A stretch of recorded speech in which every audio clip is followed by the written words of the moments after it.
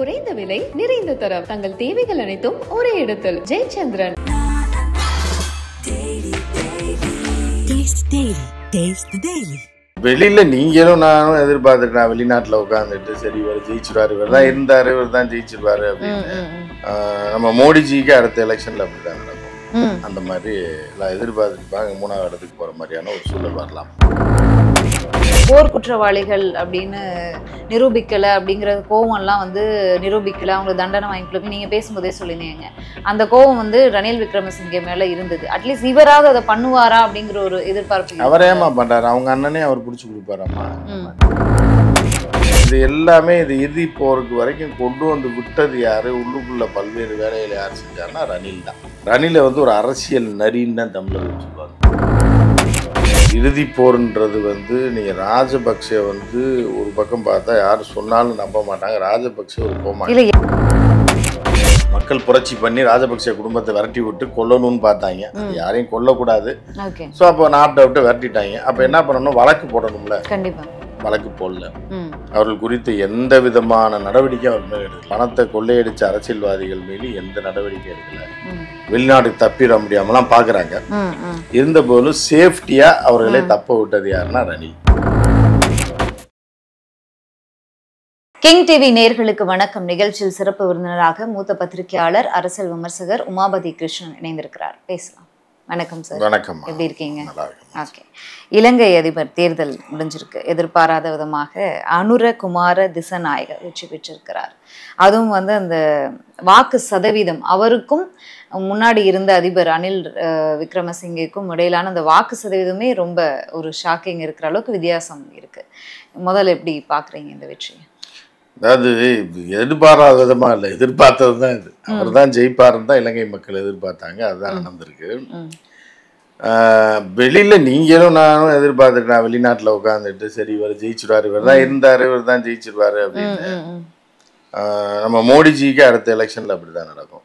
அந்த மாதிரி எல்லாம் எதிர்பார்த்துட்டு இருப்பாங்க. மூணாவது இடத்துக்கு போற மாதிரியான ஒரு சூழல் வரலாம். ஸோ அந்த மாதிரி அது அது எதிர்பார்ப்பு ஒன்று நடக்கிற ஒன்று மக்கள் ஒன்று நினச்சிட்டு இருப்பாங்கல்ல அந்த மாதிரி தான் இது. ரணில் விக்ரமசிங்கே வந்து ஒரு நீண்ட நாள் அரசியல்வாதி. இந்த இதெல்லாம் வாழை நாரெல்லாம் பிரிப்பாங்கல்ல அது அந்த வாழை மட்டையை வந்து தண்ணியில் ஊற போட்டுறாங்க நாள் க மாசக்கணக்காக ஊறிட்டு. கிடக்கும். அந்த மாதிரி அரசியல்ல ஊர்னவர் தான் யாரு. ரணில். அவர் நீண்ட காலம் அந்த இலங்கை அரசியல்ல ஊறி தலைத்து. அமைதியாகவே இருந்து பல காரியங்களை செஞ்சிருக்காரு இலங்கைக்கு வந்து அவர் ஆற்றிய பணின்றது நம்ம நாட்டுக்கு சுதந்திரம் வாங்குறதுக்கு மகாத்மா காந்தி ஆற்றிய பணியை விட ஜாஸ்தி ஒத்து பார்த்தோம்னா. ஏன்னா எல்டிடிஏ கொஞ்சம் கொஞ்சமாக ஒழிச்சவர் அவர் தான். நீங்கள் இப்போ இறுதி போர்ன்றது வந்து நீங்கள் ராஜபக்சே வந்து ஒரு பக்கம் பார்த்தா யார் சொன்னாலும் நம்ப மாட்டாங்க. ராஜபக்சே ஒரு கோமா. இல்ல எல்லாருமே அவர் அவரை தானே ஒரு மிகப்பெரிய வில்லனா பார்த்துக்கிட்டு இருக்காங்க. அதுதான் ராஜபக்சேக்கு இதுக்கு இது சில நேரத்தில் இந்த வடிவேல் காமெடி மாதிரி தான் வந்து ஏதோ ஒன்று உட்கார இந்த ஏழு ஆறு கோல ஆறுமுகம்னு ஒரு காமெடி வரும். கவுண்டமணி நடிச்சது. அவன் போவான் தென்னங்கொலை விழுந்து செத்து போயிடுவான் அதில் ஆறு கொலை விழுந்து செத்ததுனால ஆறு கொலை ஆறுமுகம்னு இவனுக்கு பேரை வச்சு பெரிய ரவுடி ஆகிடுவாங்க. அப்போ போய் வில்லன்ட்ட போய் சேரும்போது ஒரு அருவாளை கொடுத்து அவனை போட்டு வாடான்ட்டு நான் என்னைக்குடா கொலை பண்ணேன்னா ரத்தத்தையே பார்த்தது இல்லையடா அப்படின்வான் அந்த கதை ராஜபக்சே கதை. அது இந்த உலகம் நம்பாது அப்படின்னா கூட ஏன்னா அந்த இறுதி போர் அப்படின்றது வந்து என்ன அப்படின்னு பார்த்தீங்கன்னா ராஜபக்சே ஜனாதிபதியாக இருந்தார்ல ம். ஆனால் வந்து அது பல பேர் பிளான் போட்டு சி- இந்திய வெளியுறவுத்துறை உக்ரைனு அஹ், நாசமா போன பல பேர் சேர்ந்து தான் அந்த காரியத்தை பண்ணாங்க. கூலிப்படைகள். சரியா? இவங்க பூரா சேர்ந்து தான் இந்த இதை செய்து முடிச்சாங்க. அதுக்கு வேற காரணம் இருந்தது. அதில் வந்து தலைவனுக்கு பேராயிடுச்சு. ஓகேவா? இது வச்சு அவர் மஞ்சள் குளிச்சு அவர் போயிட்டு இருந்தார் அவர் குடும்பம் ஏகப்பட்ட காசு இருந்துச்சு. சம்பாதிச்சுக்கிட்டு இருந்துச்சு. சம்பாதிச்சுட்டு இருக்கும்போது இது எல்லாமே இது இறுதி போருக்கு வரைக்கும் கொண்டு வந்து விட்டது யார்? உள்ளுக்குள்ள பல்வேறு வேலைகளை யார் செஞ்சார்னா ரணில் தான் கருணான்னு கேள்விப்பட்டிருப்பீங்க. கருணாவை வந்து பிரித்து கருணாவுக்கு ஒரு பொண்ணை கோர்த்து விட்டு லவ் பண்ண வச்சு ஏன்னா அதற்கப்புறம் வந்து என்ன பண்ணாங்கன்னா கருணாவுக்கு வந்து சரக்கு வாங்கி கொடுத்து குடிக்க வச்சு பார்ட்டி பாரு பப்புன்ற பழக்கத்தை ஏற்படுத்தி இந்த உலகத்தில் வேறு என்னென்னமோ இருக்குது நீ போய் இன்னும் துப்பாக்கியை தூக்கிட்டு சண்டை போட்டுட்ருக்கேன்ற மாதிரி அதாவது உள்ளுக்குள்ளேயே கூடயே இருந்து ஆயுத போராட்டம் ஒரு பக்கம் நடந்துக்கிட்டு இருந்தாலும் உள்ளுக்குள்ள இருப்பவர்களை எப்படி உடைக்கிறது அப்படின்னு வேலை செஞ்சது பூரா ரணில் தான். அதே மாதிரி ரணிலோட இன்னொரு வேலை என்னன்னு பார்த்தீங்கன்னா போர் நிறுத்தம்ன்றார் போர் நிறுத்தம் அடிக்கடி போட்டுருவாப்புல. போட்டால் என்ன ஆகும்னா எதிராளி வீக் ஆயிடுவான் ம். நீங்க சண்டை போட்டுறீங்க ஆவேசமாக சண்டை ம். அந்த ஒரு வேகத்தில் போனால் தானே ஏதாவது நடக்கும். டப்புன்னு வந்து பேச்சுவார்த்தை போர் நிறுத்தம்னு சொல்லி வருஷக்கணக்காக போர் நிறுத்தணும்னா எல்டிடி வந்து வீக் ஆயிரும். ஏன்னா போராளிகள் கொல்லணும் வைக்கணும் அப்படின்னு போயிட்டு இருக்கவன ஒரு மாதம் லீவு நீ ஊருக்கு போயிட்டு வாடா அப்படின்னா என்ன ஆகும்? வீட்டில் போனவங்க உங்கள் தாய் தந்தை தங்க ஒரு இப்போ ஒரு பலகாரத்தை சுட்டு கொடுப்பாங்க. சுப்பா நல்ல சாப்பாடு சாப்பிட்டு உட்கா ஏதோ ஒன்று அரை சாப்பிட்டு இருந்தா ஏதோ சாப்பிட்டு உட்காரும்போது பொம்பளைங்க ஒன்று சொல்லுவாங்க பக்கத்து வீட்டில் ஒன்று சொல்லுவாங்க ஏன்பா இப்படி போதும்ப்பா நாட்டுக்காக போகிறான்னு ஒரு கல்யாணத்தை பண்ணுப்பா இருபத்தெட்டு வயசாச்சு. கல்யாணத்தை பண்ணிட்டு நீ போப்பான்னுவாங்க. இப்போ நம்ம ஊர்லேயே பார்த்தீங்க அப்படின்னா நிறையா பேர் இந்த பொங்கலுக்கு இப்போ tea master vada master parotta மாஸ்டர்லாம் பார்த்தீங்கன்னா இது நல்லா வேலை பார்த்துருப்பாங்க. பொங்கலுக்கு ஊருக்கு போயிட்டு வரேன்னு போவாங்க. ஊரில் சில பேர் வரவே வர மாட்டாங்க. சில பேர் இல்லை பல பேர் வர மாட்டாங்க ம்ஹும். ஏன்னு கேட்டால் அங்கே போன உடனே பொம்பளைங்க குழப்பி விட்டுருவாங்க. அவங்க அம்மாவோ அக்காவோ தங்கச்சி இங்கேயே வைப்பா ஏன்பா அவ்வளோ தூரம் போய் ரொம்ப தொழில் விட்டு விட்டு போய் நீ எங்கே படுத்துருக்க?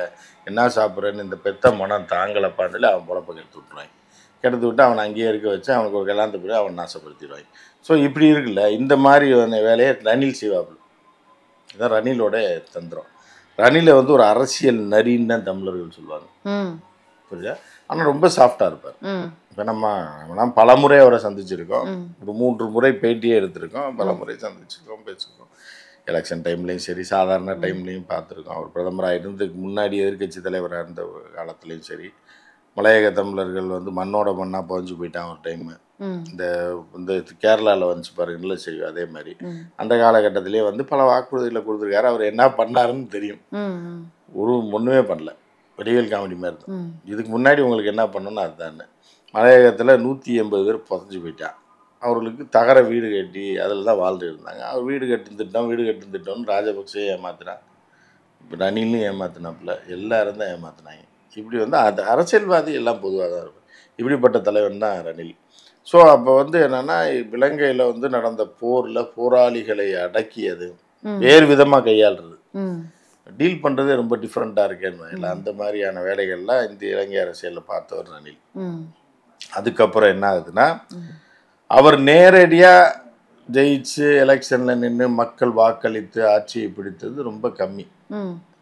ஆனால் அவர் வந்து இந்த ராஜதந்திரின்றதுனால சில என்ன பண்ணுவாங்கன்னா சில இந்த இது மாதிரி வேறு கட்சி ஆட்சியில் இருந்தால் கூட இவரை கொண்டு வந்து உட்கார வச்சுடுவாங்க. ஐயா காப்பாற்றுங்க ஏதாவது பிரச்சனை வந்துச்சுன்னா. அப்படி தான் வந்து ரெண்டாயிரத்தி இருபதுக்கு அப்புறம் கலவரம் வந்தது. ஒரு புரட்சி மாதிரி வெடிச்சது. அந்த புரட்சி வந்து வெடிச்சது சிஏஏவுக்கு வேலை அது. ஏன்னா ர- சைனாவோட போகிறாங்க இந்தியா பவர்ஃபுல்லாக இருக்குது அப்படின்னோடனே அவன் அமெரிக்க அமெரிக்க உளவு பிரிவு என்ன பண்ணிட்டான்? உடச்சுவீங்கலாம் ஓடு விடுங்கடா அப்படி ராஜபக்சே ஓவர் ஆட்டம். ரெண்டாவது வந்து பார்த்தீங்க அப்படின்னா ராஜபக்சே வந்து லைட்டாக அமெரிக்காவை பாதிச்சுக்கலைன்னா கூட சைனாவோட ரொம்ப நெருக்கம் காட்டினது அவங்களுக்கு பிடிக்கல. அதனால ரணில் வந்து அமெரிக்க சிஏயோட ஆள் தான். ஸோ அவன் ரணிலை கொண்டு வந்துட்டாங்க. இது உள்குத்து.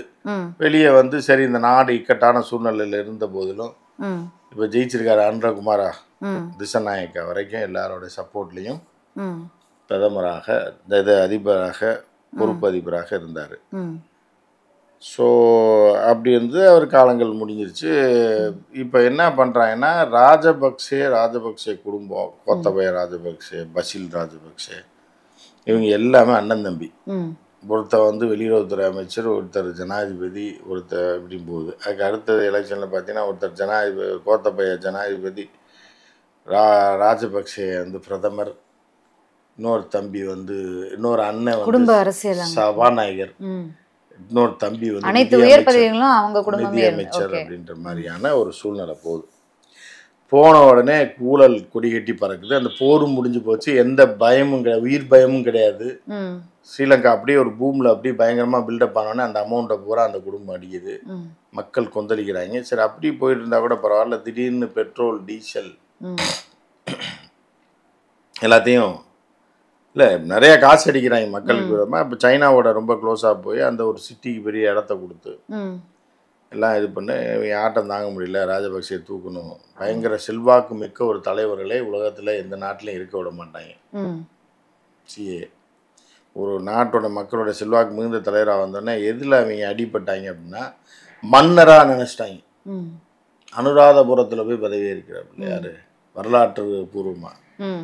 கோத்தப்பைய அப்போ பார்த்தாங்க இவங்க மன்னர் ரேஞ்சுக்கு போகிறாங்க அடுத்து இவங்க குடும்பத்தை அசைக்கவே முடியாது இவங்களை தூக்குனா தான் கரெக்டாக இருக்குன்னு தூக்கி விட்டாங்க.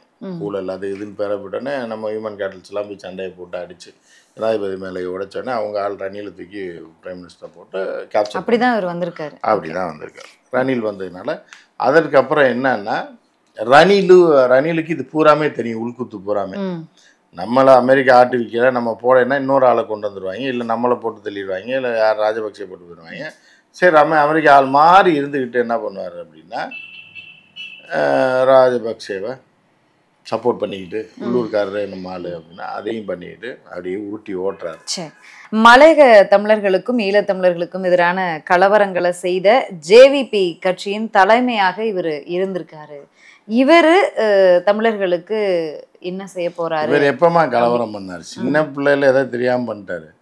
புரியுதா? ஜேவிபின்றது ஆரம்பிச்சது ஆயிரத்தி தொள்ளாயிரத்தி எழுவத்தொன்னில். ம். புரியுதா?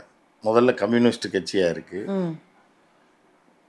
ஏன்னா இதுலேயும் வந்து நீங்கள் என்ன பார்க்கணும் அப்படின்னா இவருடைய கதையை பார்க்கணுன்னா சில இந்தி படங்கள்லாம் பழைய சின்ன வயசில் பார்த்துருக்கீங்களா? ஹிந்தி படம் அதே எம்ஜிஆர் டப்பிங்லாம் பண்ணுவாங்க. ம். அப்பனை கொன்றுவாங்க. இப்போ வரைக்கும் கதை அப்படி தான் இருக்கு ஆயிரம் படத்தோட கதை. எல்லா படத்துலையும் அப்பனை கொன்றுவாங்க. அப்பா அப்பா ஃபோட்டோ இருக்கும். அவங்க அம்மா முண்டு முண்டையாக இருப்பா. ம். இந்த ரெண்டு பிள்ளைங்களை கஷ்டப்பட்டு வளர்த்துக்கிட்டு இருப்பா. அந்த பையன் பெரியதாகி அப்பா யாருக்கு ஒன்றாலும் பழிவாங்க இதுதான் இந்திய சினிமாவுடைய எண்பதுகள் எழுபது எண்பது கதை. எல்லா இந்தி படத்தோட ஐம்பது பர்சன்ட் படத்தோட அமிதாப் பச்சனும் தர்மேந்திராவும் அண்ணன் தம்பியாக தான் இருப்பாங்க. இல்லை சித்தப்பா மகன் பெரிய பெருமான் இதுதான் இருக்கும். அவங்க அப்பனை கொண்டோன்னு பழி வாங்குவாங்க. இல்லைன்னா வில்லனுடைய மக வந்து லவ் பண்ணி கல்யாணம் பண்ணிடுவாங்க. இல்லைன்னா வில்லனுடைய மகன் தான் க கதாநாயகனாக இருப்பான் இதுதான் கதை. ஸோ இந்த மாதிரியான கதை தான் அங்கே உள்ள அந்த ஜேவிபி ஜனதாவி முக்தி பரம்னான்றது வந்து ஒரு சிங்கள பார்ட்டி. அந்த பார்ட்டி எப்படி ஆரம்பிக்கப்பட்டதுன்னா அதுக்கு முன்னாடி கம்யூனிஸ்ட் கட்சி இருக்கு. ம். கம்யூனிஸ்ட் கட்சியில் ஒரு முக்கியமான தலைவர் இருக்கார். அவர் ஒரு புரட்சி செய்கிற மாதிரி அப்படியே பண்ணும்போது அவரை போட்டு தள்ளிடுறாங்க. அவரோட மகன் தான் விஜய வீரா இந்த கதையெல்லாம் நீங்கள் தெரிஞ்சு வச்சுக்கணும். இந்த விஜய வீரா என்ன பண்ணுறான் சின்ன பையனா அனாதை ஆயிடுறான் பதினாறு பதினேழு வயசில். உடனே ரஷ்யா என்ன பண்ணுது? நம்ம கம்யூனிஸ்டுக்கார ஒருத்தரோட பையன் இந்த மாதிரி ஆயிடக்கூடாதுன்னு சொல்லி கூ அப்படியே கொத்தா தூக்கிட்டு போய் ரஷ்யாவில் படிக்க வைக்கிறாங்க. டாக்டருக்கு படிக்க வைக்கிறாங்க எம்பிபிஎஸ் மாதிரி. படிக்க வச்சு கம்யூனிஸ்ட கருத்துக்களை புகுத்தி இலங்கையில் அந்த ஏற்கனவே அவங்க அப்பா செஞ்சிருந்த மாதிரியே கம்யூனிஸ்ட் கருத்துக்களை புகுத்தி இவரை அனுப்பி விட்றாங்க. இவர் அங்கேருந்து கம்யூனிஸ்ட் பக்கம் மார்க்ஸை படிக்கிறாரு லெனின் படிக்கிறாரு ஏங்கல்ஸை படிக்கிறாரு எல்லாம் படிச்சுட்டு இங்கே வந்தோடனே என்ன பண்ணுறாரு அப்படியே வண்டியை திருப்பி மாவோயிஸ்டாக மாறிடுறாரு. நான் கம்யூனிஸ்ட் தான். ஆனால் இந்த சத்தா சித்தாந்தத்தை விட மாவோயிஸ்ட் இங்கே இருக்காங்க திரும்ப நக்சலைட்னு சொல்லுவாங்க. மாவோயிஸ்ட் சீன மாவோயிஸ்ட் கொள்கையை ஃபாலோ பண்ணோடனே ரஷ்யாக்காரன் கடுப்பாயிடுறான். அனாதை இறந்த பையனை தத்தெடுத்து கொண்டு வந்து எம்பிபிஎஸ் படிக்க வச்சு நம்ம பூத்தி விட்டா இவன் மாவோ பின்னாடி போய் சைனா பின்னாடி போகிறானுன்னொடனே அதோட வெட்டி விட்டாய் நீ நீ வந்து யூஎஸ்எஸ்ஆருக்கு வந்தேன்னா உன்னை கொண்டே விடுவோன்றாங்க உடனே இவர் என்ன பண்ணால் தனியாக இருக்கார். அப்படியே இருக்கும்போது இன்னும் ரொம்ப கோவக்காரர். முதல்ல அவர் ரஷ்யா மேலே எழுத்துட்டு வந்துட்டாருன்னு பாருங்க. வந்த உடனே இங்கே கட்சிக்குள்ளே வராரு என்னடா கட்சி நடத்துறீங்க? இந்த மாவோ இந்த கொள்ளு தான் கரெக்டு அப்படின்னு சொல்லி தனியாக ஒரு கட்சி ஆரம்பிக்கிறார். அதுதான் ஜேவிபி புரியுதா? இந்த கட்சி எப்படி பிறக்குதுன்னு. ஹிந்தி படம் மாதிரி தான் அது. அப்பாவை கொண்டுறாங்க மகன் மகனை இது பண்ணுறாங்க மகன் வர்றான். வில்லனை பழி வாங்குறான் பழி வாங்கி ஆட்சியை கைப்பற்றணும்னு பார்க்குறாப்புல உடனே ஒரு துப்பாக்கி பயிற்சியெல்லாம் எடுக்கிறாங்க. ஒரு ஆர்ம்டு ஃபோர்ஸ் உருவாக்குறாங்க. பேங்க்கில் கொள்ளையடிக்கிறாங்க. போலீஸ் ஸ்டேஷனை கொளுத்துறாங்க. பூராமே ஹிந்தி படம் மாதிரி தான் இருக்கும் கொளுத்துறாங்க. துப்பாக்கியெல்லாம் கொள்ளையடிக்கிறாங்க. அவர் பார்த்தீங்கன்னா சேகுவாரா மாதிரியே தொப்பி போட்டிருப்பார். வெப்சைட்டில் போய் தேடி பார்த்தீங்கன்னா அவர் செத்து ரொம்ப நாள் ஆச்சு. தேடி பார்த்தீங்கன்னா இருக்கும் ஒரு ஃபோட்டோ ரெண்டு ஃபோட்டோ சேகுவாரா மாதிரியே ஸ்டைலில் ஒரு புரட்சி பண்ணணும்னு இப்படியே பண்ணும்போது அப்படியே போயிட்டுருக்கு. இது வந்து அதில் வந்து என்ன கொஞ்சம் கலந்துக்கிறாரு அப்படின்னா சிங்கள இனவாதத்தையும் கலந்துக்கிறாரு. வெறும் கம்யூனிஸ்ட் கிடையாது. கம்யூனிஸ்டும் ஜாதி மத இனம் மொழிக்கு எல்லாம் அப்பாற்பட்டு தான் இருப்பாங்க. இவன் வந்து என்னென்னா மாவோயிஸ்டையும் கொஞ்சம் கலந்துக்கிட்டு இனவாதத்தையும் சிங்கள மக்களுக்கான ஒரு விடுதலையை கம்யூனிஸ்ட் மாவோயிஸ்ட் பாணியில் உருவாக்குறாரு. இங்கே தான் அவர் இடிக்குது. இடித்த உடனே இராணுவத்தோட சண்டை இங்கே ஒரு பக்கம் போடுறாங்க வடக்கு மாகாணத்தில் தமிழர்கள் ஆயுதம் தாங்கி எல்டிடி டெலோ இபிஆர்எல் பிஎன்டிஎல் பிபிடிபி ஹீரோஸ் இவங்க ஒரு ஏழு பேர் அவங்க அங்கேருந்து ஆயுத போராட்டம் சண்டை போடுறாங்க இலங்கை நெருக்கடிக்கு உள்ளாகுது இராணுவம் ராணுவம் ரெண்டு பக்கமும் சண்டை போடுது இந்த பக்கம் தமிழ் குழுக்களையும் சண்டை போடுது ஜேவிபி கூடயும் சண்டை போட்டுருக்கும்போது ஒரு நாள் காலையில் வீட்டில் சே ஒரு இடத்துல தலைமுறையாக சேவிங் பண்ணிகிட்டு இருக்காரு காலையில் போட்டு தள்ளிடுறாங்க அதோட அவர் கதை முடிஞ்சு போச்சு அப்போ இந்த கட்சியில் இருந்த ஒரு பதினாலாயிரம் பேர் செத்து போயிட்டாங்க. இந்த போராட்டத்தில் இந்த ஏழு வருஷம் எண்பத்தி ரெண்டுலேருந்து எண்பத்தொம்போது வரைக்கும் நடக்கிற சண்டையில் உயிரிழந்துடுறாங்க. அந்த கட்சி தான் இந்த ஜேவிபி அந்த கட்சியில் ஒரு சிறுவனா நீங்கள் சொன்னீங்கல்ல ம். இரக்கமே இல்லாமல் இவர் தான் தமிழர்களை ஒழிக்கிற பாடுபட்டார். அந்த சிறுவன் தான் யாருன்னா அடுத்து அனுரா. அனுரகுமார திசாநாயக்க வந்து அந்த பதினாறு பதினேழு வயசில் இருக்கார் கூட. அதுக்கப்புறம் அந்த இயக்கத்தை தடை பண்ணி எல்லாம் அழிச்சு கட்டினோடனே எல்லாத்தையும் ஜெயிலில் போடுறாங்க மீதி இருந்தாலும் அது இதுன்னு போட்டு ஆட்டையை கழிச்சு விட்டுறாங்க. அதுக்கப்புறம் ஒரு அஞ்சாறு வருஷம் கழித்து திருப்பி வந்து ஜனநாயக இயக்கமாக அது மாறி எலெக்ஷனில் நின்று இன்னைக்கு வந்திருக்காரு. இவ்வளோ கஷ்டப்பட்டு அவர் வந்திருக்காரு. நீங்கள் அசால்ட்டாக அவர் எப்படி வந்து சரி இந்த போர்ல போர் குற்றவாளிகள் அப்படின்னு நிரூபிக்கல அப்படிங்கிற கோவம்லாம் வந்து நிரூபிக்கல. அவங்களுக்கு தண்டனை வாங்கி கொடுக்கல நீங்க பேசும்போதே சொல்லியிருந்தீங்க. அந்த கோவம் வந்து ரணில் விக்ரமசிங்கே மேல இருந்தது. அட்லீஸ்ட் இவராவது அதை பண்ணுவாரா அப்படிங்கிற ஒரு எதிர்பார்ப்பு இருக்கு. அவரேமா பண்ணுறாரு அவங்க அண்ணனே அவர் பிடிச்சி கொடுப்பாராம்மா. அவர் பாட்டுக்கு அவர் ஆட்சி நடத்துவார் அவ்வளோதான் ம், ஆட்சி நடத்துவார் இனிமே பிரச்சனை இல்லாமல் இருந்தாலே சந்தோஷம்னு பாருங்க. நீங்கள் பழைய கதை போரில் குற்றத்தில் அவன் பிடிச்சி தருவான். அவங்க இருக்கும்போது பிடிச்சி தரல. ஏன்னா தமிழர்கள் கட்சியை பூரா கூட்டிகிட்டு போய் ஒருத்தர் சம்பந்தம்னு ஒரு பெரியவர் அவர் தொண்ணூற்றி மூணு வயசில் இறந்துட்டார். அவர் மொத்தமாக கொண்டு போய் எல்லாத்தையும் அடகு வச்சு ம், எதிர்க்கட்சி தலைவராக இருந்தார். ஒரு தமிழர் எதிர்க்கட்சி தலைவராக ஆனது வந்து வரலாறு வந்து திரு ஒரு ஐம்பது அறுபது வருஷம் கழிச்சு நடந்தது. அவரே ஒன்றும் பண்ண முடியலையே பாவம். எதிர்க்கட்சி தலைவராக அளவுக்கு தமிழர்கள் வளரவே முடியாது. இருந்தாங்க. எல்லாம் ஒன்று சேர்ந்த என் சகோதரர்னார் எல்லாத்தையும் கட்டி பிடிச்சாரு. தொண்ணூறு வயசுக்கு மேலே போய். அப்படி இருந்தாலும் ஒன்றுமே நடக்கலை. அதனால இது இப்படியே தான் போகும். இனிமே பிரச்சனை வராமல் ஏற்கனவே இருக்க பிரச்சனையை விடுங்கம்மா. இனி உங்களுக்கு பிரச்சனை வராமல் இருந்தால் சந்தோஷம் தானே? சந்தோஷம் தான். அப்படிதான் ஒவ்வொரு மனிதனும் பார்ப்பாங்க. சரி ஆரம்பமே நீங்க இத பத்தி பேசும்போது சொல்லிடுறேன். பிரதமர் மோடி வந்து வாழ்த்துக்களை சொல்லியிருக்காரு. பதிலுக்கு இவரும் பதிலுக்கு இவரும் வந்து நன்றி தெரிவிச்சிருக்காரு. இந்த நல்லுறவு நீடிக்குமா? சீனாவோட தலையீடு இனிமே அதிகரிக்குமா அப்படிங்கிற ஒரு எதிர்பார்ப்பு இவர். இது என்னம்மா இது வாழ்த்து சொல்றதுக்கும் நல்லுறவுக்கும் என்னம்மா சம்மந்தம் இருக்கு வாழ்த்து யாராவது ஒரு கல்யாணம் வாழ்த்துக்கள் நல்லா இருக்குன்னு வெளியில வந்தோடனே இப்போ ஒரு ஆபீஸ் இருக்குன்னு வைங்களேன். சரி இப்ப தமிழ்நாட்டு தேர்தலே. எடுத்துக்கலாம். வாழ்த்து சொல்ல வருவாங்க. சமயத்துல எல்லாரும் எல்லாருக்கும்லாம் வாழ்த்து சொல்லல. இப்ப மோடிக்கே சிலர் வாழ்த்து சொல்லல.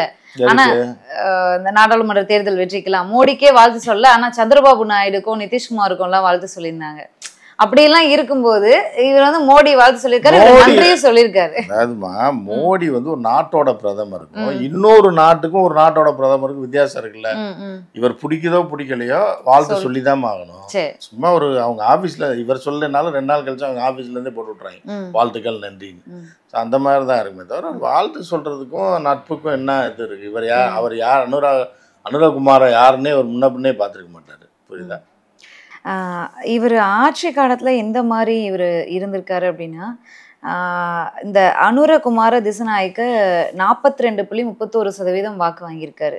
அனில் ர- விக்ரமசிங்க வந்து பதினேழு புள்ளி இருபத்தேழு பர்சன்ட் தான் வாங்கியிருக்காரு. அப்போ மக்கள் இவர் மீது எந்த அளவுக்கு வெறுப்பை காட்டியிருக்காங்க அப்படிங்கிறது இந்த வாக்குகள்லேயே தெரிஞ்சிருக்கு. அந்த அளவுக்கு இவர் என்ன பண்ணார்? இந்த விஷயங்களை தாண்டி தான் நான் சொல்லிட்டு இருக்கேன். இல்ல இந்த மாதிரியான விஷயங்களை தாண்டி அந்த விஷயம் தானே அரசியல் வேற என்ன இருக்கு? அப்போ வந்து என்னன்னா ராஜபக்சே வந்து மக்கள் அடிச்சு கொல்லணும்னு கிளம்புறாங்க. ராஜபக்சே குடும்பத்தையே ஓட ஓட விட்டு வரட்டுறாங்க ரெண்டு வீடுக்கு தீ வச்சிடுறாங்க. அவங்க எல்லாமே போய் ஆர்மி கேம்ப்ல ஒளிஞ்சுக்கிறாங்க. ஏர்போர்ட் வரைக்கும் மக்கள் போய் வெளிநாட்டுக்கு தப்பிட முடியாமலாம் பார்க்குறாங்க ம், ம், இருந்தபோதும் சேஃப்டியாக அவர்களை தப்ப விட்டது யாருன்னா ரணில். அது மட்டும் இல்லாமல் இவர் கையில் பொறுப்பை ஒப்படைச்சா யார் மீதும் வழக்கும் போல நடவடிக்கை எடுக்கல. மக்கள் புரட்சி பண்ணி ராஜபக்சே குடும்பத்தை விரட்டி விட்டு கொல்லணும்னு பார்த்தாங்க. யாரையும் கொல்லக்கூடாது. ஸோ அப்போ நாட்டை விட்டு விரட்டிட்டாங்க. அப்போ என்ன பண்ணணும் வழக்கு போடணும்ல? கண்டிப்பா. வழக்கு போடல. அவர்கள் குறித்து எந்த விதமான நடவடிக்கையும் அவர் மேலே எடுக்கல. பணத்தை கொள்ளையடிச்ச அரசியல்வாதிகள் மேலே எந்த நடவடிக்கை எடுக்கல. அப்படியே ரன் பண்ணிட்டு இருக்காரு அப்போ மக்கள் கடுப்பாயிட்டாங்க. இப்போ ஊழல்வாதியை துரத்தணும் விரட்டணும் இந்த நாட்டை மேலே கொண்டு வரணும்னு தான் ஒன்றை கொடுத்தோம். யாரையுமே நீங்கள் பண்ணலன்றதுக்கு தான் அவருக்கு ஒரு பரிசா அதை கொடுத்துருக்காங்க. இலங்கை வரலாற்றை மாற்றி எழுத தயாராக நிற்கிறோம் அப்படின்னு அனுரகுமார திசநாயக்க சொல்லியிருக்கார். முதல்ல இவர் எப்படிப்பட்டவர்? இவர் வந்திருக்காரு இப்போ அங்கே தமிழர்கள் இருக்காங்க அப்படிங்கும்போது இவராவது தமிழர்களுக்கு ஏதாவது பண்ணுவாரா? நல்ல விஷயங்கள் இந்த போர்னால பாதிக்கப்பட்டு பொருளாதார ரீதியாக பாதிக்கப்பட்டு ஒடுக்கப்பட்டு இருக்கக்கூடிய தமிழுக்கு தமிழர்களுக்கு இவராவது ஏதாவது பண்ணுவாரா? அப்படிங்கிற ஒரு எதிர்பார்ப்பும் இருக்குது இல்லை இவர் வந்து ஒரு கம்யூனிஸ்ட் இவர் வந்து இந்த புத்த இதெல்லாம் ஃபாலோ பண்ணுறவர் இவர் வந்து அப்படியெல்லாம் எதுவும் பண்ணிட மாட்டார். இவருடைய பார்வை வேற மாதிரி இருக்கும் அப்படின்னு விமர்சனங்கள் நேத்திருந்து இழந்துட்டு இருக்கு. இதுல எது சார் அதாவது கூட பிறந்த அண்ணனும் தாய் மாமனுமே ஒன்றும் செய்யலையா? ஏழாவது வீட்டு ஏகாம்பரமா வந்து உங்க குடும்பத்தை காப்பாற்ற ஏற்கனவே அது இவ்வளோ நாள் என்னவோ அந்த இதில் சொல்றாருல கும்கிய அது ஒரு படத்தில். வாழ்க்கை நாசு நாசமா போய் நச கழிஞ்சு இனிமே- சோத்துக்கு அலைஞ்சு நீ ஒண்ணுமே இல்லாம போயிருவ. ஐம்பது வயசு வரைக்கும் வாழ்க்கை இப்படித்தானே. அப்புறம் ஐம்பது வயசுக்கு மேலன்னா அதே பழகிடும் இதுதான் வந்து ஈழத்தமிழர்களுக்கு உள்ளது. புரியுதா அவங்களுக்கு அவர்கள் எல்லாமே போர் முடிச்சு எல்லாம் வெளிநாட்டுக்கு போயிட்டாங்க. அவர்கள் வந்து ஐநாவை வச்சு தனி நாட்டாக பிரிக்கணுன்றதுக்கான வேலைகளை வெளிநாட்டுல இருந்து பண்ணிட்டு இருக்காங்க. உள்ளூர் மக்கள் மீதி கொஞ்சம் பேர் இருக்காங்க. உங்களுக்கு ஃப்ரைட் ரைஸ் கடை போட்டு கொடுத்துருக்காங்க. ரோடு பூரா ஆயிடுச்சு இப்போ. ஏன்னா அங்கெல்லாம் இருக்காது முதல்ல. ரெண்டாயிரத்தி பதினாலு பதினேழு ஃப்ரைட் ரைஸ் கடை வந்துருச்சு பிராந்தி கடை வந்துருச்சு. தலைவர் பிரபாகரன் இருக்கும்போது பீடி சிகரெட் கூட அங்கே இருபது வருஷமா இல்லை. பீடி சிகரெட் கூட கிடையாது. ஆனால் போர் முடிஞ்சு ரெண்டாயிரத்தி பன்னெண்டுலேயே பிராந்தி கடை வந்துச்சு. பிராந்தி கடை வந்துச்சு ஊருக்குள்ளே ஒரு வரிசையாக ரோடு பூரா ஃப்ரைட் ரைஸ் கடை இருக்குது எங்கே? இலங்கைன்னா ஒட்டுமொத்த இலங்கையில சொல்ல யாழ்ப்பாணத்தில். இங்கெல்லாம் ஏற்கனவே இருக்குது ம் ம் கொழும்புல எல்லாம். அங்கே வந்து எல்லாத்தையும் ஓப்பன் பண்ணி விட்டு இப்போ விஜய் படம் அஜித் படம்லாம் ரிலீஸ் பண்ண ஆரம்பிச்சிட்டாங்க. மால் வந்துருச்சு. நான் சொல்கிறேன் ரெண்டாயிரத்தி ப ஏழு வருஷத்துக்கு முன்னாடியே நம்ம ரெண்டாயிரத்தி பதினாலு தேர்தலுக்கு நான் போகும்போதே இதெல்லாம் வந்துருச்சு. சரியா? இப்போ ஜெகஜோதியாக இருக்கு. ம் யாழ்ப்பாணம். போர் நடந்த இடத்த ரெண்டாயிரத்தி பத்துலேயே இப்படி ஒரு போர் இங்கே நடந்துச்சா? அப்படின்னு. அந்த வரலாற்றையே அழித்து மாதிரி. விட்டாங்க. அதுக்கப்புறம் மக்கள் அங்கே வாழ்ந்துகிட்டு இருக்காங்க. அப்புறம் இப்படி தான் போயிட்டு இருக்கு இவர் வந்து என்ன பண்ண போறாரு. இவர் என்ன பண்ணணும்னு நீங்க இலங்கையின் வரலாற்றையே மாத்தி எழுத போறேன்னு சொல்லியிருக்காரு. வரலாற்றை இப்போ யாருமே மாற்றியெல்லாம் எழுத முடியாது. புதுசா வரலாறு எழுதுறாங்க. இப்போ அவர் வந்ததுக்கு அப்புறம் ஒரு வரலாறு எழுதுறாங்க தவிர ஏற்கனவே இருந்த வரலாறு எப்படி மாத்துவாரு? அப்படின்னு தெரியல. அதனால இருப்பார் அவர். அவரா எதையாவது ஒன்று எழுத வேண்டியதா வரலாறுன்ற பேர்ல. இல்ல இந்த தியாகம் பண்ணியிருக்காங்க இல்லையா பலர் வந்து தியாகம் பண்ணி அவங்களோட தியாகத்தால தான் இந்த பயணம் வந்து செதுக்கப்பட்டிருக்கு என்னுடைய வெற்றி பயணம். அவங்களுடைய நம்பிக்கை போராட்டங்களின் செங்கோலை நாங்கள் இப்போது தாங்குகிறோம் அப்படின்னு ஒரு அறிக்கையே வந்து கொடுத்திருக்காரு. தெரியுமில்ல உங்களுக்கு அதனால என்ன நடந்துச்சு? ம், அந்த மாதிரி அவர் ஒரு செங்கோல் வைக்க அதான் அவங்க எல்லாருமே மன்னரான்னு தான் ஆசைப்படுவாங்க. வந்துட்டோம்னா அப்படியே செங்கோலை வச்சுட்டு நம்ம பாட்டுக்கு ஒரு பத்து பதினஞ்சு வருஷம் இருக்கணும். அப்படின்றதுல அவருக்கு வாய்க்கு வந்து அது சொல்லியிருக்காப்புல. ஆனால் இது வந்து என்ன அப்படின்னு பார்த்தீங்கன்னா இது அவங்க அவங்க கட்சியோட ஐம்பது வருட போ இவங்க வந்து உதாரணத்துக்கு அந்த கட்சியை சொல்லணும் அப்படின்னா ஜனதா விமுக்தி பெரமுனாவை அது இப்போ சீமான் கோஷம் போட்டுட்டு இருக்காங்க சீமான் கட்சி மாதிரின்னு வச்சுங்க. அந்த கட்சியை பார்த்தா சீமான் அந்த அந்த மாதிரி. இப்போ தமிழினம் தமிழர் உணர்வு அதுன்னு சொல்கிறாங்கல்ல அப்போ அவங்க வந்து சிங்களம். ப்ளஸ் கம்யூனிஸ்ட்டு கலந்தது கொஞ்சம். என்னதான் வந்து இந்த இந்த போருக்கெல்லாம் பிறகு இல்ல போருக்கு முன்பு இந்த நாட்டை விட்டே வெளிநாடுகள்ல போய் செட்டில் ஆனா கூட அவங்களுடைய ஆசை எல்லாமே வந்து இலங்கையை நோக்கி தான் இருக்கும். அதை வந்து நீங்க இப்ப பேசும்போது இதை எடுத்ததுனால சொல்றேன். நாம் தமிழர் கட்சி வளர்றதையெல்லாம் பார்க்கும்போது நமக்கு அது நல்லாவே தெரிஞ்சிருக்கும். அவங்க இன்னும் வந்து எவ்வளவு ஊறி போயிருக்காங்க அந்த நாட்டு பற்றுல அப்படின்னு அப்படி இருக்கிறவங்க தொடர்ந்து ஏமாந்துட்டே தான் இருக்க முடியுமா அப்படிங்கிற ஒரு அதாவதுமா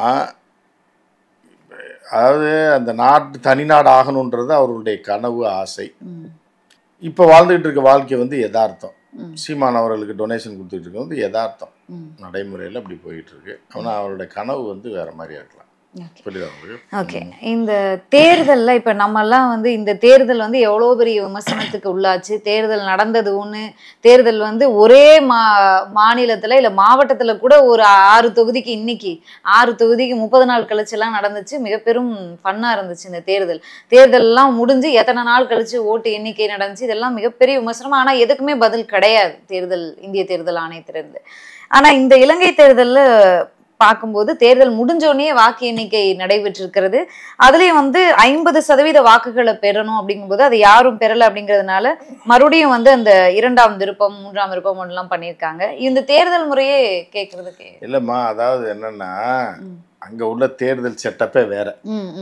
நீங்கள் பங்கு ஆட்டோ கேள்விப்பட்டீங்கல்ல? ஷேர் ஆட்டோ அந்த ஷேர் ஆட்டோவில் வடிவேல் காமெடி ஒன்று வரும்ல? ஒருத்தட்டையா வசூல் பண்ணி கடைசியில் ஏறவங்களுக்கு பங்கு பிரிச்சு கொடுப்பாங்க. அந்த மாதிரி தேர்தல் தான் இலங்கையில் நடக்கும். அது ஒரு மிகப்பெரிய காமெடி அது இந்தியாவில் வந்து அந்த மாதிரி நடத்த முடியாது. தமிழ்நாட்டில் அந்த மாதிரி தேர்தல் நடத்த முடியாது. அது ஏன்னு சொல்கிறேன் நான். அது போக நம்ம ஜீ வந்து கடவுளோட குழந்தை. புரியுதா உங்களுக்கு? அவங்க எல்லாம் சாதாரண மனுஷங்க. இன்னைக்கு இப்போ காலையில் எலெக்ஷன் வைப்பான் சாயந்தரம் எண்ணுவான் அடுத்த நாள் ரிசல்ட் சொல்கிறேன்னா மனிதர்கள் அப்படிதான் தெய்வங்கள் அப்படி இருக்காது. அரசன் அன்று கொள்வான் தெய்வம் நின்று கொள்ளுன்ற மாதிரி தெய்வம் வந்து எப்பவுமே லேட்டாக தான் இருக்கும். இறைவனே நேராக வந்து ஆட்சி நடத்தும் போது அவர் அவர் நினைப்பாரு? ஒரு வேலை சரி காலையில் சொல்கிறா போடா. இந்த அவனை கூப்பிட்றான் அவனை தேர்தல் அதிகாரியாக போட்டான்வாரு தெய்வம் ரெண்டு பேரும் தொலைச்சி கட்டுறான்னு. அந்த மாதிரியான ஒரு தெய்வத்தின் அஹ், குரல்னுவாங்கல்ல அந்த மாதிரி தெய்வத்தோட ஆட்சி தான் இங்கே நடக்குது. அங்கே வந்து சாதாரண நடக்கும். அங்கே வந்து இன்னொரு காமெடி என்னன்னா அந்த பங்கு ஆட்டம்னு நான் சொல்லல எப்படி என்ன பண்ணுவாங்கன்னா பத்து தொகுதி இருக்குல்ல இப்போ சென்னையில் பத்து எம்எல்ஏ தொகுதி இருக்குன்னு பத்து தொகுதிக்கு எல்லாருமே போட்டி போட முடியாது. சுயேட்சையா அந்த அவன் இஷ்டத்துக்கு போடுறான் பாருங்க. அவன் சுயேட்சை போனவன் வந்தவன் பெட்டி கடையில் நின்றுருந்தவன்லாம் நாமினேஷன் பண்ணி விட்டுருவான் ரெண்டாயிரம் ரூபா அங்கே அப்படிலாம் பண்ண முடியாது. அங்கே எப்படின்னா ரெண்டு கட்சி மூணு கட்சி தான் அங்கீகரிக்கப்பட்ட கட்சி இருக்கும். இப்போ நீங்கள் போட்டிடுனா ஏதாவது ஒரு கட்சி கூட்டணியில் சேர்ந்து அந்த சின்னத்தில் தான் நிற்க முடியும். வெத்தலை சின்னம் யானை சின்னம் மணி சின்னம்னு இருக்கும் இப்போ வந்து அங்கே வந்து தமிழ் தேசிய கூட்டமைப்புன்னு ஒன்று இருக்கு. புரியுதா அந்த தமிழ் தேசிய கூட்டமைப்பு ஒன்று அதுக்கப்புறம் இந்த பிஎன்பி க- கட்சி இருக்கும். அதில் அதில் இருக்கிறவங்க ஒரு கூட்டணி இருக்கும். இப்போ மூணு கூட்டணி தான் இங்கே இப்போ ரெண்டு இல்லை மூணு தான் போட்டி போட முடியும். அங்கீகரிக்கப்பட்ட கூட்டமைப்பு. அவங்களுக்கு தான் அங்கீகாரம். தனியாலாம் போய் யாரும் அங்கீகாரம் வாங்கிட முடியாது. ஆமாம் இப்போ பத்து தொகுதி இருக்குன்னா பத்து எம்எல்ஏ இருக்குன்னு வச்சுக்கோ உதாரணம் நம்ம ஊரில் சென்னையில் பத்து எம்எல்ஏனா பத்து பேருக்கு மொத்தமாக தான் வாக்கு வாக்கு போடுவாங்க. இப்போ நீங்கள் இப்போ இப்போ உதயநிதி ஸ்டாலினுக்கு போடுவீங்க. இந்த பக்கம் தமிழிசையை தோக்கடிச்சிருவீங்க. அப்படி இருக்காது. பத்து தொகுதிக்கும் இப்போ நீங்கள் போறீங்கன்னா பத்து குத்து குத்தணும். புரியுதா? அந்த பத்து குத்து எப்படி குத்துவீங்கன்னா மூணு சீட்டாக இருக்கும். இப்போ எது இப்போ எதிர்க்க அதாவது எப்படின்னா எதிர்க்கட்சிக்கு பத்து இப்போ ஆளுங்கட்சியில் பத்து பேர் எதிர்க்கட்சியில் பத்து பேர் மூணாவது கூட்டணியில் பத்து பேர் இருப்பானா? பத்து பேரில் எல்லாம் ஓட்டு போட்டே இருப்பாங்க. ம். நீங்கள் என்ன பண்ணுவீங்கன்னா பத்து பேருக்கு என்ன பண்ணுவீங்கன்னா அந்த பொண்ணு ஒன்று இருக்குது நமக்கு ரொம்ப வேண்டிய பொண்ணு. சரி அதுக்கு வந்து முதல்ல போடுவோம். அப்போ இந்த அவர் வந்து நம்ம மூணாவது வீட்டில் தெருவில் இருந்து ஒரு எம்எல்ஏ நிற்கிறாரு அவருக்கு ஒரு ஓட்டை போடுவோம்னு பத்து ஓட்டு போட்டு வந்துடுவீங்க ரைட்டா இப்போ எண்ணும் போது எப்படி எண்ணுவாங்கன்னா. இது வந்து ஜனாதிபதி தேர்தல் இதை சொல்லலை. அங்கே உள்ள ம மேல் மாகாண சபை தேர்தல். இப்படி போடும்போது இந்த முப்பது பேரில் எவனாவது ஒருத்தன் டாப்பில் வந்திருப்பான்ல. அவன் தான் நம்பர் ஒன் புரியுதா? ரெண்டாவது வாங்கினவன் மூணாவது வாங்கினேன் முதல்ல வந்தவன் ஆளுங்கட்சியாக இருக்கலாம் இல்லை எதிர்க்கட்சியாக இருக்கலாம். ரைட்டா இப்போ நீங்கள் நிற்கிறீங்க எதிர்க்கட்சி சார்பில் எல்லாரும் உங்களுக்கு அதிக ஒரு லட்சம் ஓட்டு மொத்தம். ஒரு லட்சம் ஓட்டில் பதினாலாயிரம் ஓட்டு உங்களுக்கு விழுந்துரும். ம். புரியுதா? இன்னொருத்தருக்கு ரெண்டாவது வரவனுக்கு பதினோராயிரத்தி ஐநூறு ஓட்டு விழுகும். இப்படியே விழுந்துக்கிட்டே வரும். கடைசியில் நானூறு இரநூறு ஓட்டு வரைக்கும் வந்து முப்பதாவது ஆளுக்கு. ம். புரியுதா? இப்படி விழுந்ததுக்கப்புறம் யாருக்கு டாப்பில் ஓட்டு விழுகுதோ அவன் எந்த கட்சின்லாம் பார்க்க மாட்டாங்க யார் டாப்பில் இருக்கிறோம் அவன் நம்பர் ஒன் ரெண்டாவது வாங்குறவன் டூ த்ரீன்னு இந்த ஆர்டர் படி வந்தோடனே பத்து பேரை எம்எல்ஏ வாங்கிடுவாங்க மொத்தத்துக்கு. புரியுதா உங்களுக்கு? யார் ஆர்டர் படி புரியுதா? முப்பது முப்பது பேருக்கும் ஓட்டு போடுவான் மக்கள். முப்பது பேருக்கு மக்கள் ஓட்டு பண்ணால் இதில் யார் டாப் டென்னில் அதிக ஓட்டு வாங்கியிருக்காங்கன்னா பத்து எம்எல்ஏ புரியுதா? ஏன் இந்த? தேர்தல் நடைமுறை அங்க இன்னும் வரல? புரியாம போயிட போகுது பாதியில நீங்க குழப்பி விட்டுறாதீங்க. இல்ல போதும் பத்து பேர் இருக்கா? இந்த பத்து பேர்ல இன்னொரு முக்கியமான விஷயம் இருக்குமா? இதாம்மா முக்கியமே. இந்த பத்து எம்எல்ஏ இப்படியே போயிட்டு இருக்காங்க ரெண்டு வருஷம் கழிச்சு இந்த பத்து பேர்ல ஒருத்தன் செத்து போயிட்டான்னு வைங்க. பதினோராவதா ஒருத்தன் வந்தான்ல அவன் எம்எல்ஏ ஆயிடுவான். திருப்பி எலெக்ஷன் வைக்க மாட்டான். இதுதான் நான் சொன்ன பங்கு ஆட்டோன்னு. வடிவேல் பங்கு ஆட்டோவில் பிரித்து கொடுப்பாங்கல்ல மூணு பேர்ட்ட வசூல் பண்ணி கடைசியில் ஏறவன்ட்ட பிரித்து கொடுக்குற மாதிரியான இது மெயின் கிளைமேக்ஸே கட் பண்ண பார்த்துட்டீங்க பார்க்குற எவனுக்குமே புரியாது. இப்ப வரைக்கும் அதே மாதிரி தான் நடந்துட்டு வரைக்கும் அதே தான் பத்தாவது ஆள் இல்லை ஒரு ஏழாவது ஆள் செத்து போயிட்டான்னு வைங்க இந்த பதினோராவதா எந்த கட்சிக்காரனா இருந்தாலும் சரி இவன் ஆளுங்கட்சிக்காரன் செத்துருப்பான். உடனே அடுத்த எம்எல்ஏ ஆளுங்கட்சி தானே வரணும் அப்படிலாம் கிடையாது. எந்த கட்சியா இருந்தாலும் சரி ஆமா இப்ப எதிர்கட்சிக்காரன் நாலாவது ஆளா வந்திருக்கான்னு வைங்களேன் அவன் செத்து போயிட்டான்னா பதினோராவது வர ஆளுங்கட்சிக்காரன் எம்எல்ஏ ஆயிடுவான் பதினோராவது எவன் இருக்கானா அவன் எம்எல்ஏ நல்லா இருக்கு சார். நல்லா இருக்குல்ல இப்படி இருந்தா தமிழ்நாட்டுல பத்து எம்எல்ஏவும் கூறு போட்டு மூணு மாசத்துக்கு ஒருத்தனா கொண்டு விடுவாங்க புரியுதா உங்களுக்கு? ஏன்னா அடுத்த பத்து பேர் ரெடியா இருக்கான்ல போதும் நீ ரெண்டு வருஷம். டெய்லி அவனை ஃபாலோ பண்ணுவாங்க. டீ கடை அங்கே போதுமையாயே ரெண்டு வருஷம் ஒரு மாசம் ஆச்சு. எப்போ நீ சாக போற? எப்போ உன்னை கொல்றது? இல்லை எப்போ நீயா ரிசைன் பண்றியா?